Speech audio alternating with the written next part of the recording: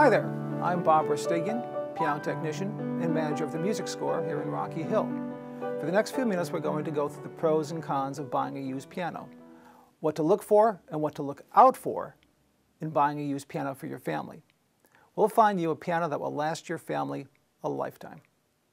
Typically what we find advertised is a piano that's been in the family for 20 or 30 years, hasn't been played in a while, and advertised in excellent condition, when in fact, you find out there are a myriad of different problems with this piano. For instance, if we go to play some of the keys, we find that the action is lethargic.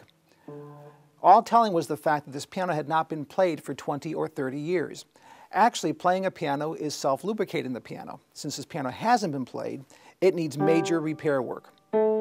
Things we look at in a piano of this type would be the tightness of the pin block to verify that the piano can be tuned to A440. If the pin block is loose, the pins can't be tightened and the piano can't be tuned. If hammers have excessive grooves when the hammer strikes the strings, you may not get a consistent tone when the piano is played. Hammers should not have grooves deeper than 32nd of an inch. Something else we look out for is, is the soundboard intact? If the soundboard has any cracks in it, that could induce vibrations that you don't want when you play the piano. It can be repaired, but if there are extensive cracks in the soundboard, it may not be economically feasible to repair this piano. Also, you want to make sure that the regulation in the piano can be adjusted for the proper touch and feel. As I said, with this piano, we have a myriad of different problems along with it being lethargic it does need major regulation on all 88 keys.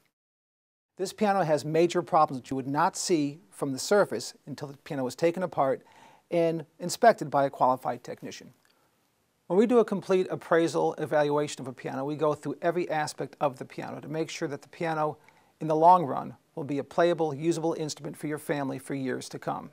Here at the Music Score, rest assured, every piano on our sales floor has had that done complete cleaning, restoration, and replacement of parts as necessary.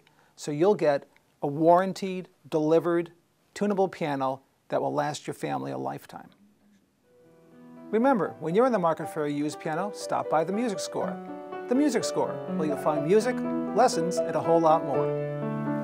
Thanks for watching.